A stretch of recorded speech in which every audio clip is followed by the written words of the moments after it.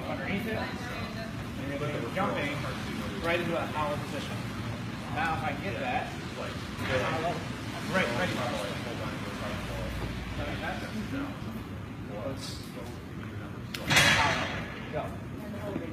Does that make sense?